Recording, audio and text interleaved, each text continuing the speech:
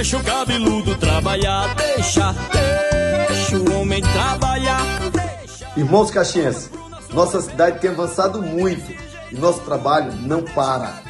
Nesta quinta-feira, dia 31 de março, às 5 horas da tarde, no ginásio João Castelo, conforme foi prometido, acontece o primeiro sorteio do programa Minha Casa é 10. Serão 10 casas sorteadas para as pessoas de baixa renda.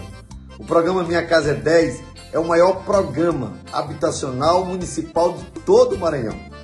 Se você fez a sua inscrição e está apto a concorrer, venha ao ginásio João Castelo nesta quinta-feira às 5 da tarde. É importante que você esteja presente na hora do sorteio.